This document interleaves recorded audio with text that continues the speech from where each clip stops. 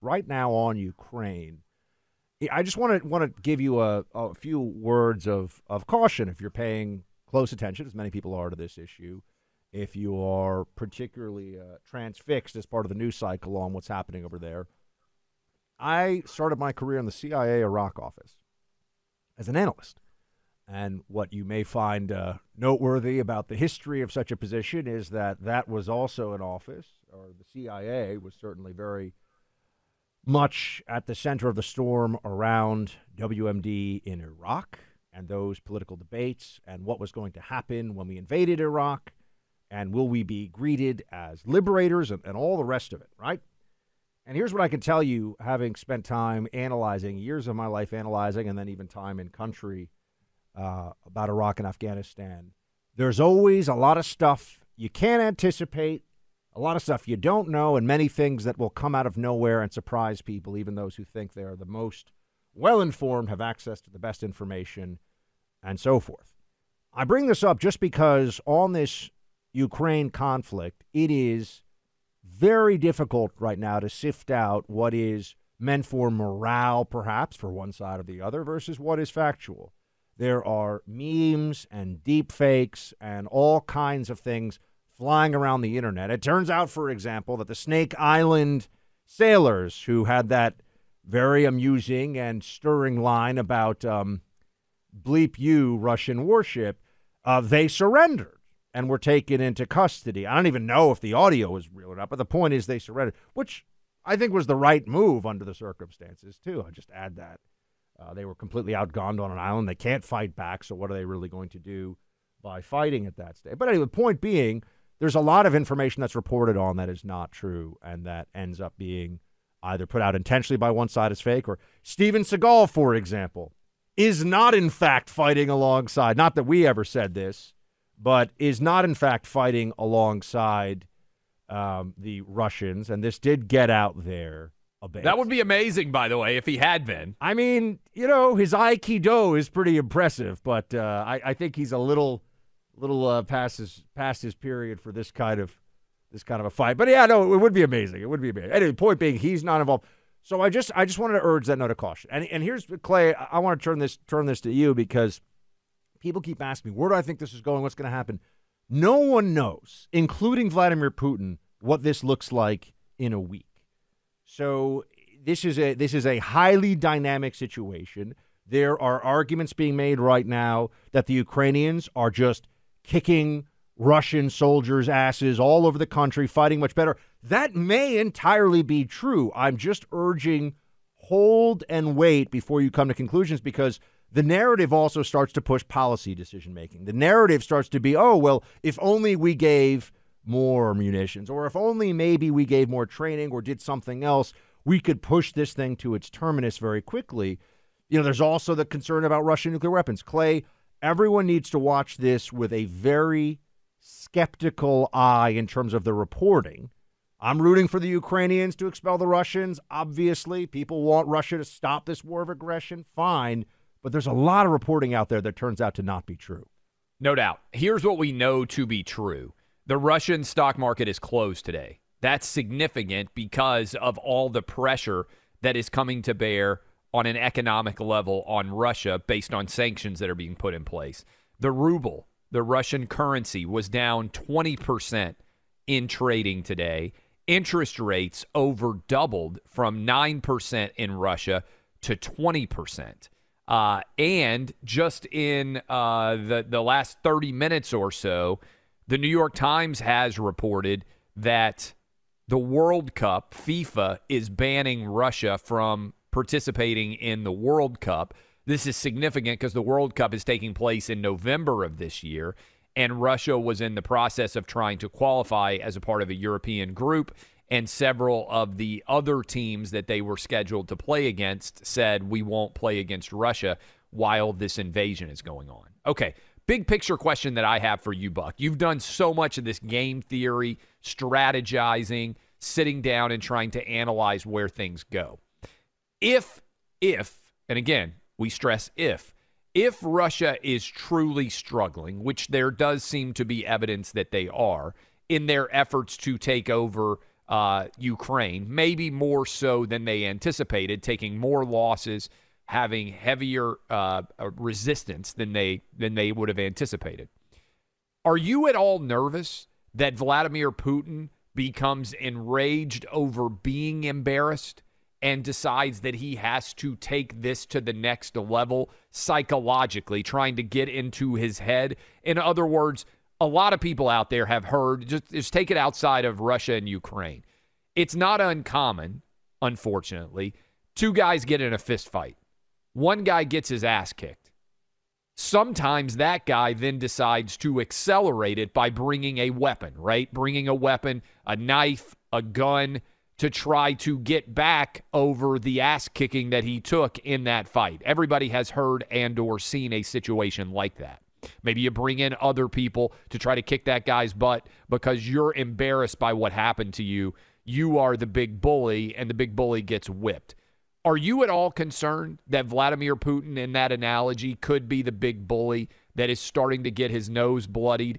And when that happens, that he decides to accelerate rather than dial back the levels of aggression that he's committed so far? Yeah, I'm very concerned that what you're going to see is the frustration of this Russian blitzkrieg, and we've been using that term on this show, stretching back for weeks. That that was, and that is what we've seen. Uh, you could really call it a limited blitzkrieg. It was supposed to be very fast, overrun them, using only a portion though of the Russian forces that had gathered around Ukraine's borders, maybe about you know twenty percent or so, ten to twenty percent, and the frustration could become such that they decide to be much more severe. Right now, they're pretty much going, and again, I stress we're relying. There are some people we're in contact with, and we're seeing reporting from in Ukraine, which is very helpful.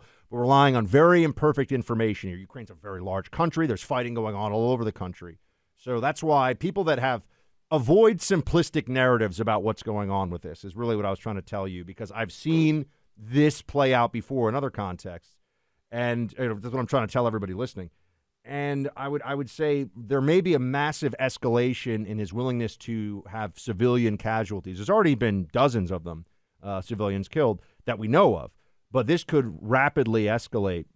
He wanted to avoid that because I think the strategy was clearly overrun the armed forces, have them capitulate, have the have the Ukrainian government flee with its tail between its legs, install the puppet, and then deal with the cons- like I believe that the Donbass region is now effectively by Putin considered Russian Federation.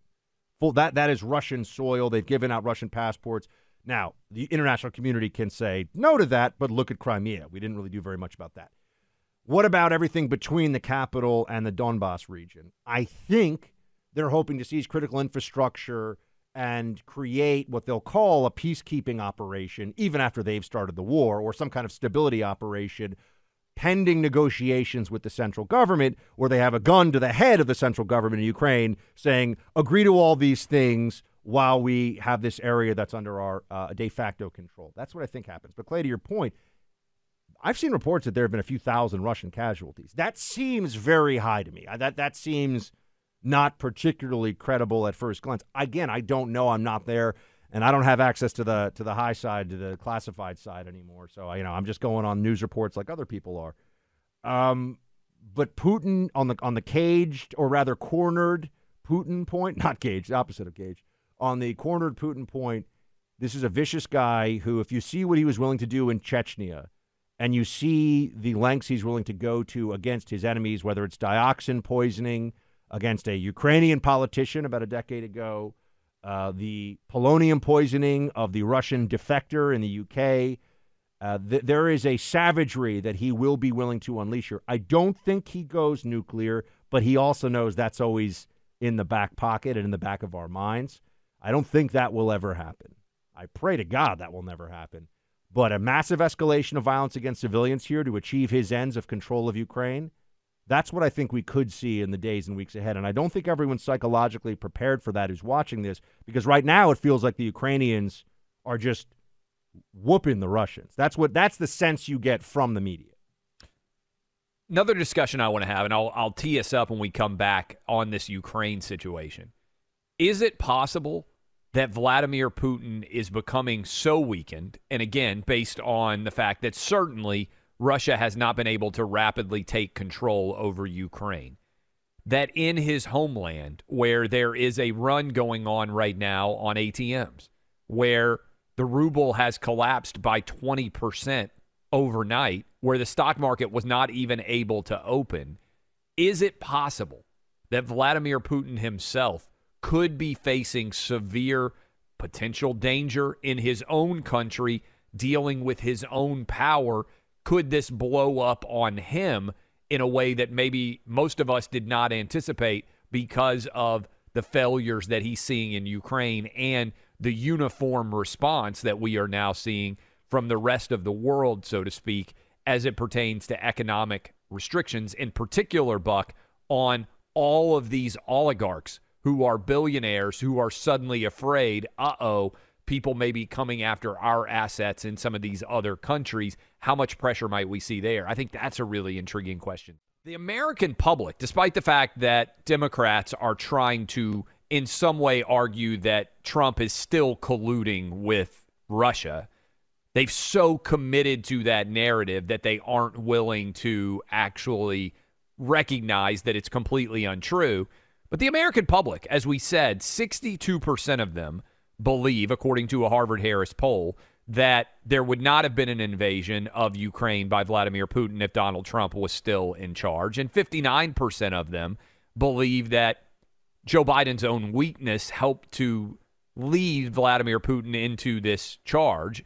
We're going to talk about uh, whether or not Putin himself could be under trouble going forward. But Larry Kudlow from CNBC actually spoke out on what he believes would have happened if Donald Trump were still in charge and this situation in Ukraine had arisen. He did a really good job laying it out. I believe this buck was at CPAC, if I'm not mistaken, where uh, Larry Kudlow was making this uh, analysis and discussion. Let's listen. Trump would have said Thursday, I am ordering my energy secretary to accept and authorize these LNG export applications.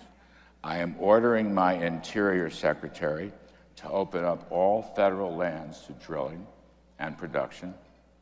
And I will encourage our great fossil fuel industry to open the spigots, make as much money as you can, hire as many workers as you will, pay them high wages as you must and that's how we will defeat Putin and Russia. That's what Trump would have done. Would have done things differently, that's for sure. And I think even the Democrats would have to admit it. It would have been very different had Trump been the president up to up to this point, given what we've already seen from Vladimir Putin. Uh, the issue of, of energy and energy security in the energy sector, I think, Clay, is something that now people see much more clearly. You know, we had the rising price at the pump. We've We've seen uh, the, the Biden administration, day one, literally day one of the administration, comes in, cancels the Keystone XL pipeline. Why?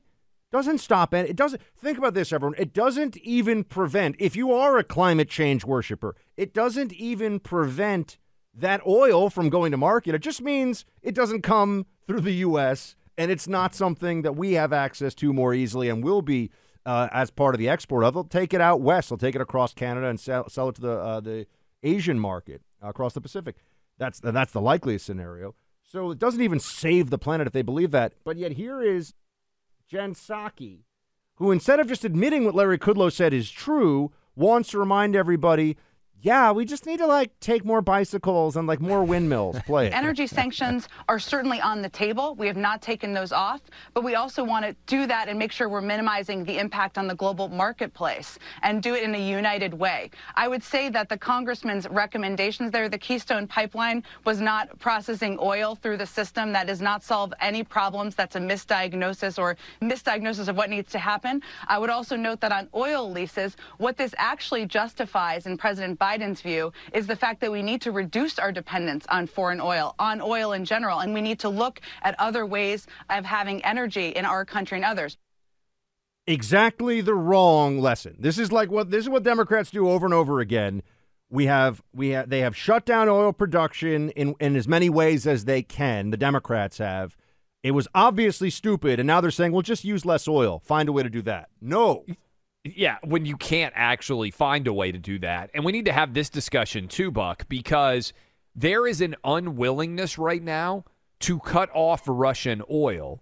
And until we're willing to cut off Russian oil, we're basically fighting a battle with one hand tied behind our backs because Vladimir Putin is still getting the opportunity to bring in all of the oil and gas money that he already was. And if we are truly going to ratchet up pressure to him to a degree where he may start to feel some significant political pressure in his own country, we have to have oil and gas also included in the sanctions.